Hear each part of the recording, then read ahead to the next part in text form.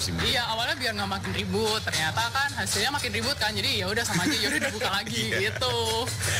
Jadi sebenarnya kita juga sebenarnya setelah tayangan final itu ya kita masih masih telepon-teleponan karena kan kayak ini gimana ini Del aku bilang kayak aku juga kan gak enak gitu loh, dia juga gak enak gitu kan. Nama Belinda Kristina Sianto dan Rizky Syah Putra Sangarimbun menjadi sorotan masyarakat luas bukan karena prestasi keduanya berhasil masuk sampai ke babak final MasterChef Indonesia, melainkan karena ketidakpuasan masyarakat luas terkait kemenangan Belinda. Sementara Kiki harus berada di posisi runner-up. Belinda kemudian sempat memilih menutup kolom komentar di akun media sosialnya lantaran banyak penggemar Kiki justru menyerangnya secara barbar. Kondisi inilah yang ikut membuat Kiki benar-benar tak enak hati kepada rekannya sehingga ia pun merasa perlu meminta maaf kepada Belinda lantaran tak kuasa mengontrol aksi demo para pendukungnya di dunia maya.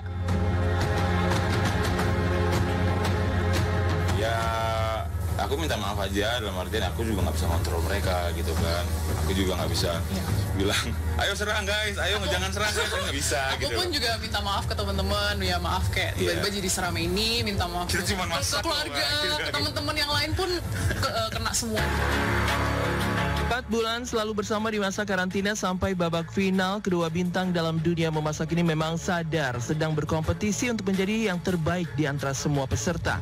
Namun hal yang tak bisa dipungkiri secara alamiah hubungan mereka pun justru terjalin sampai dengan level merasa seperti keluarga sendiri. Karena sejatinya sebuah ajang tidak hanya melulu soal persaingan, melainkan ada ruang untuk saling berbagi pikiran dan perasaan yang sama sekali jarang terekspos oleh kamera untuk menjadi tontonan di layar kaca. Apalagi kayak aku sama Belinda sampai ke final kan. Ya, jadi pasti lebih sering lagi ketemu lebih sering lagi diskusi. Ya dia tahu kalau aku lagi uh, overthinking apa yang aku pikirin dia juga sama gitu gitulah. Jadi kita support each other. Ngelihat reaksi netizen setelah tayangan final itu selesai kayak sedih juga gitu loh. Karena aku juga tahu struggle-nya Belinda gimana Belinda juga tahu struggle-nya gimana gitu kan. Jadi kayak on guys gitu loh ayo ayo dong kok bisa sampai seperti ini sih gitu sampai di mana-mana loh ini saya juga agak takut ya sebenarnya gitu loh karena kan gimana juga walaupun kita di dalam kompetisi sendiri adalah kompetitor tapi di balik itu kan kita juga udah merasa kayak keluarga gitu kan keluarga. Iki tentu saja tidak sedang membela rekannya Belinda yang sedang menjadi bulan-bulanan warganet. Di dunia maya hubungan mereka pun kelihatan terjalin mesra sehingga tak sedikit yang mengidolakan mereka sebagai couple goals impian.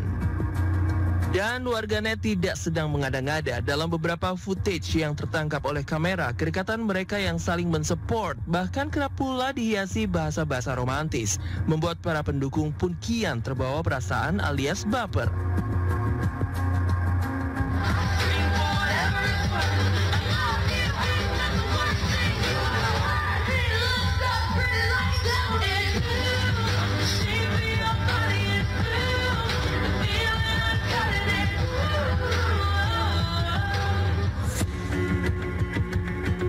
Kalau kata netizen yang maha tahu dan jago kepo, Belinda memang sudah memiliki pacar alias menjadi milik dari pria lain. Tapi jika takdir menuliskan keduanya dalam sebuah hubungan asmara, mengapa tidak? Apalagi di mata Kiki, Belinda selalu menjadi wanita yang terbaik di hatinya.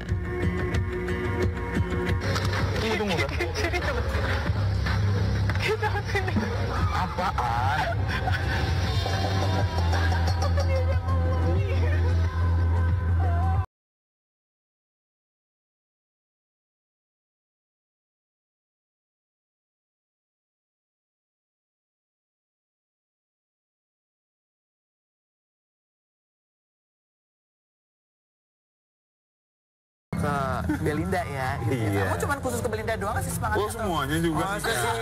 Ya cuman memang karena kebetulan aja, kebetulan memang sampai Belinda sampai akhir kan jadinya memang ya kita jadi lebih intens aja. Makanya banyak yang jago dessert itu kan perempuan karena kita perlu hati, perlu cinta gitu. Aku juga jago di sana. Nggak jago sih, aku biasa aja lah winner nih, memang winner. Eh, Dan ternyata keikhlasan yang paling besar dari Kiki atas kemenangan Belinda adalah bisa dengan tulusnya ikut memberi ucapan selamat dan mengaku begitu bangga kepada wanita yang baru bertemu dengannya sejak empat bulan lalu itu. Kiki mengaku tak ada dendam, apalagi sampai berkecil hati karena Belinda memang pantas untuk mendapatkan kemenangannya. Saya, saya senang sekali kak dengan menangnya Belinda juga karena memang dia deserve gitu kan. Dia juga masaknya oke waktu di grand final. Jadi ya benar kata Belinda itu what it is karena eh, sebenarnya yang netizen perlu tahu itu kita jago aja nggak cukup kak gitu loh. Jago aja nggak cukup. Karena memang di setiap saat itu kita kan ada under pressure.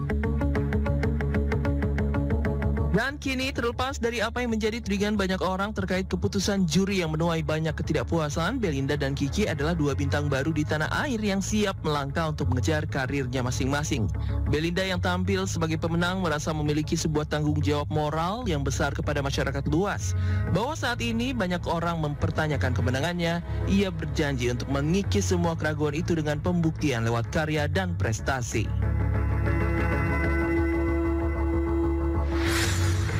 Otomatis ya kaget ya kan kan pertama kali digituin. Tapi ya aku ambil sisi positifnya. Ya bagaimanapun ya sudah terjadi. Jadi aku cuma harus mikirin ke depannya bagaimana Sementara Kiki meski hanya sebagai runner-up namun dengan kecintaannya kepada dunia masak-memasak lulusan tata boga dari sebuah SMKN di kota Medan ini pun berjanji untuk terus membuktikan diri.